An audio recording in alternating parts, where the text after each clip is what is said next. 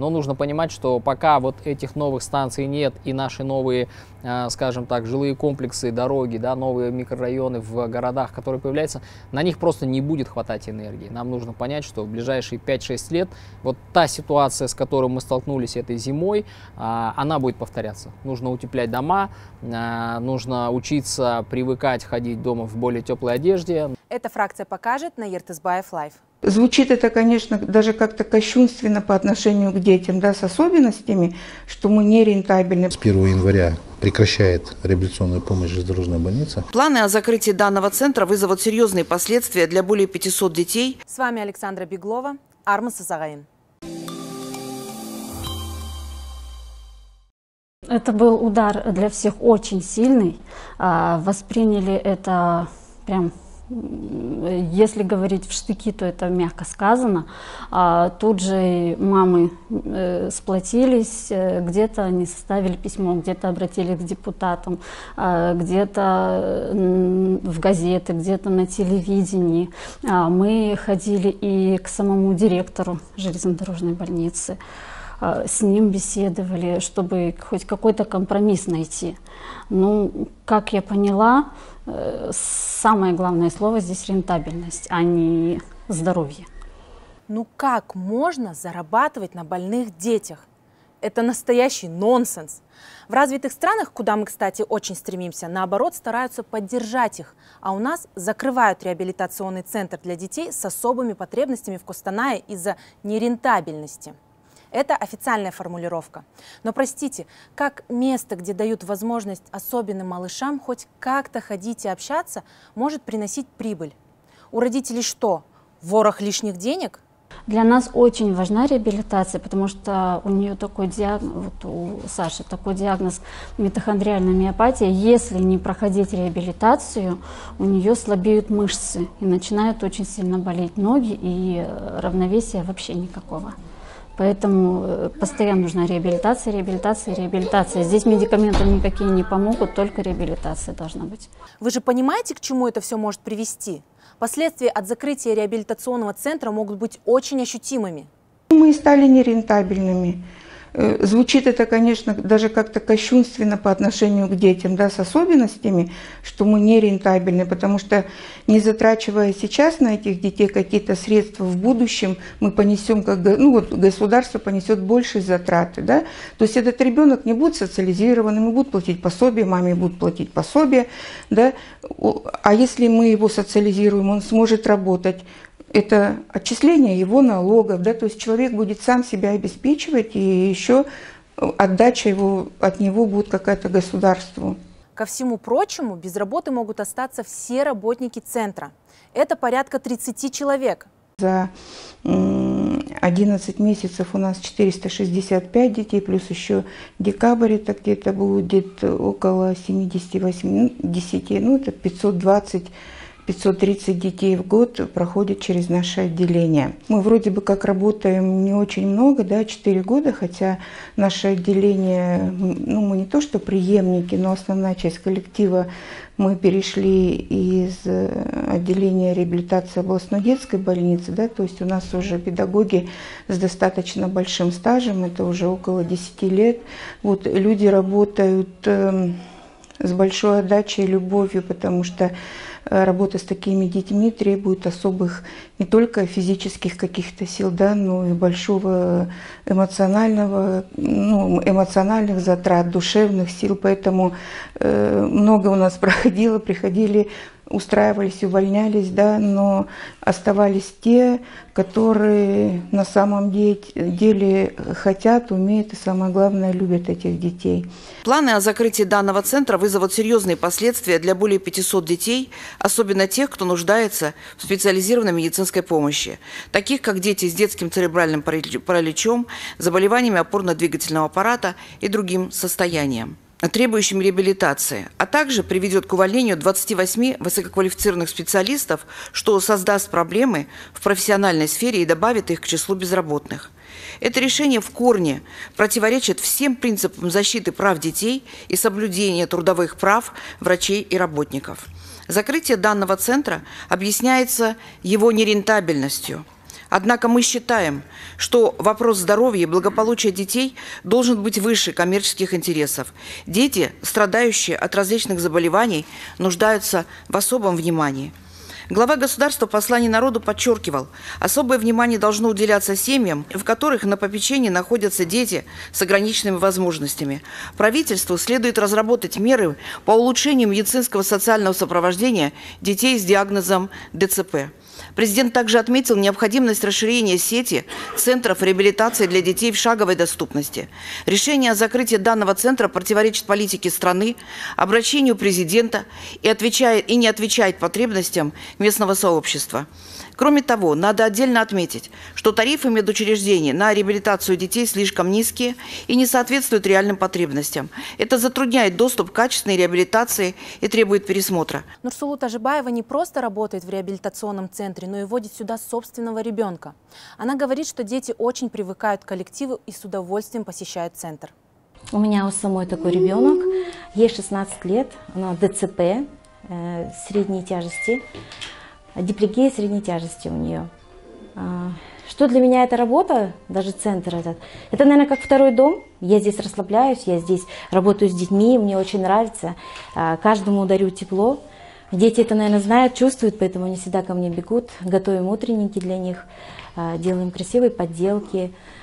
Два раза в год у нас лежат взрослые дети, для них мы вообще делаем огромный концерт. Все упирается в деньги бесплатное лечение обходится частной клинике в круглую сумму. Кстати, про деньги мы еще поговорим в этом выпуске, причем там триллионы. Досмотрите нас до конца. В связи с низким тарифом, который был еще в 2023 году, получается, а, нам уже не хватало на заработную плату и коммунальные расходы. А, штат не укомплектован. Необходимо еще привлекать специалистов. Заработная плата растет. Соответственно, а, расходы увеличиваются.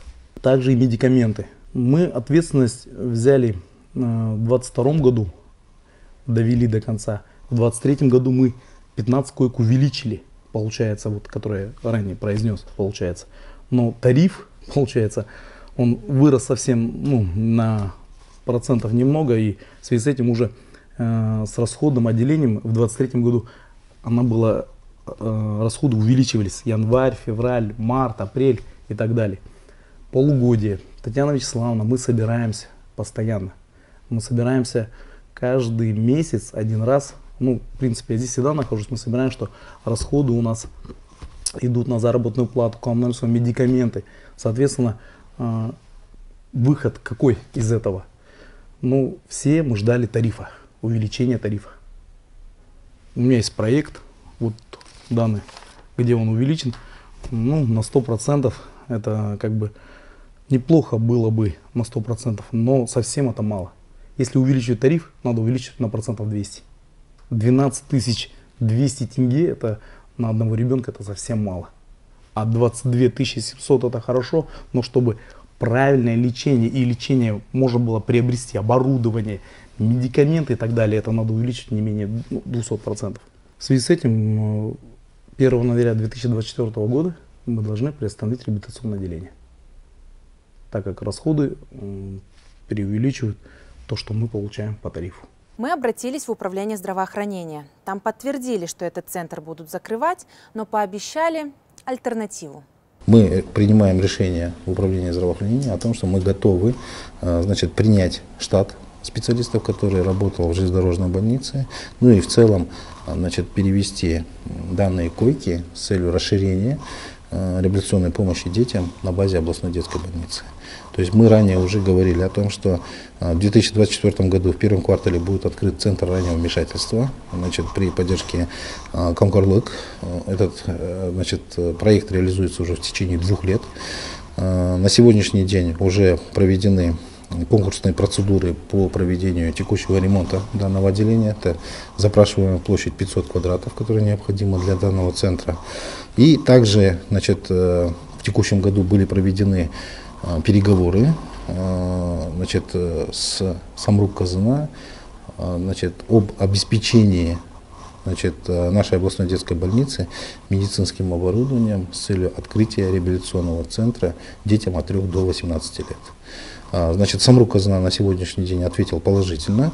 Мы сейчас готовим проект для проведения соответствующих работ э, о создании условий значит, в областной детской больнице для того, чтобы данный реабилитационный центр развернуть. А, где-то ориентировочные сроки это будет первое полугодие 2024 года.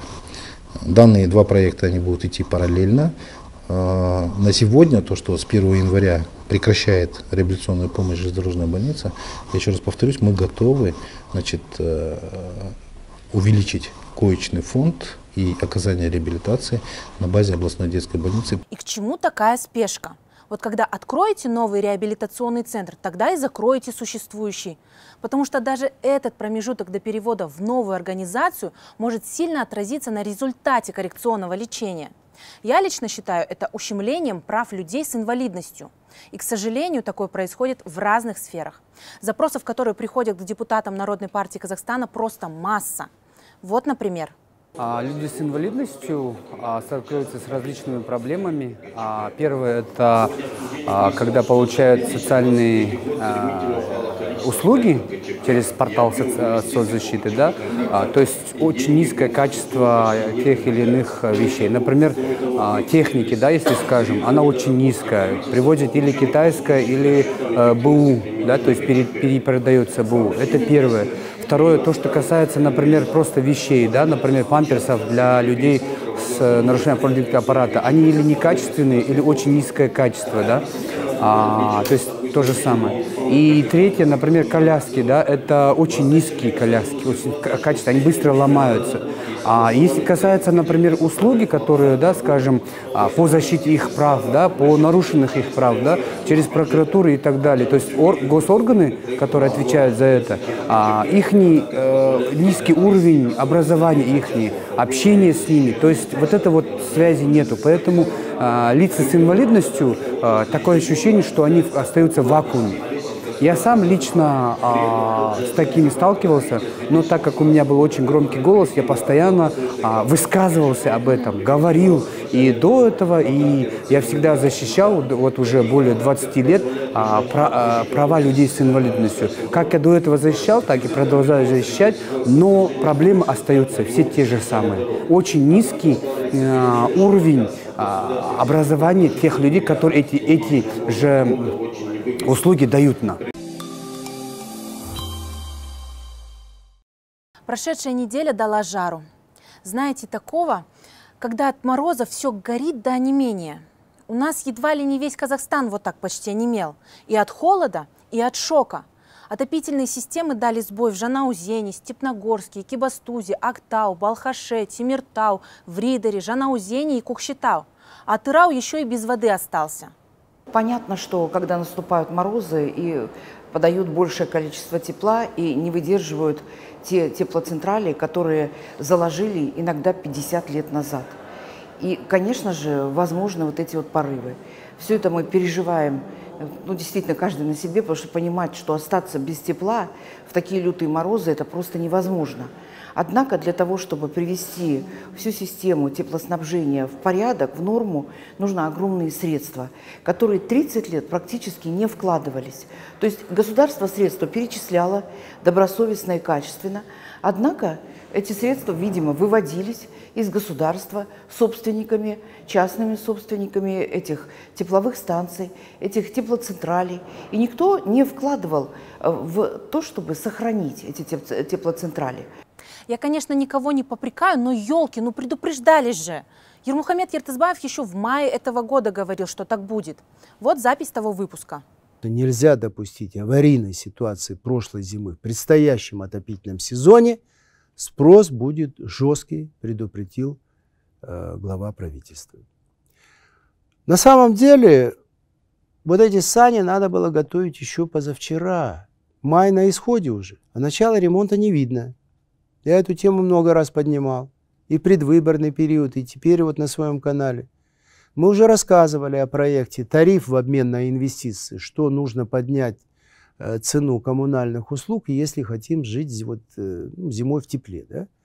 Справедливый тариф, это понятно. Инвестор не вложит ни копейки вот в эти умирающие ТЭЦ, если деньги будут нерентабельными. Это закон рынка. Никто же не работает бесплатно у нас в стране. У меня другая претензия. Почему так долго? Вот премьер-министр Смаилов жалуется на коммунальные предприятия, мол, они медленно готовят документацию для корректировки тарифов. Теперь поставили срок до конца июня. Это только завершить техническое обследование тепловых сетей. А строительно-монтажные работы только с 2024 года, друзья. Так что на предстоящую зиму, кажется, всему северу и центру Казахстана придется, ну, если не мигрировать там в Шимкент или в Тарас, то предстоящая зима опять будет э, тяжелая, тревожная во всяком случае, это очевидно. Спрос будет жесткий. Ага. Пока в минусе остаются только простые люди. Конечно, никого не устраивает такая ситуация, и мы обратились с официальным запросом в Министерство энергетики. Мне просто хочется понять, а дальше-то что? Как они будут решать все эти проблемы? И знаете, кто нам ответил? Нет, не министр и даже не сотрудник министерства. Они нас отправили к независимому эксперту. О том, что Жакып Хайрушев крутой аналитик, я и без них знаю. Интервью с ним всегда очень содержательные. Вы и сами сейчас в этом убедитесь. Но вопрос, что тогда делает министерство, если за них думают независимые эксперты? Это не мои цифры. В прошлом году был проведен комплексный аудит всей системы теплоснабжения, да, э, и где были выявлены прям по э, объектно все ТЭЦ, э, теплосети, и ну, началась такая системная работа. И эти объекты, они прошли некую градацию, помните, там э, зеленый сектор, желтый, красный. Так вот, э, эту работу уже провели на самом деле. Теперь э, я так думаю, что даже, наверное, и есть некие цифры по необходимости финансирования каждого объекта, чтобы привести хотя бы его ну, как поручал президент, к 2029 году снизить износ на 15%, да? А энергетика э, требует постоянного вложения, повторяю, из-за того, что она уже изнашивается. Капитальный ремонт делается раз в 5 лет, текущий раз в 3 года.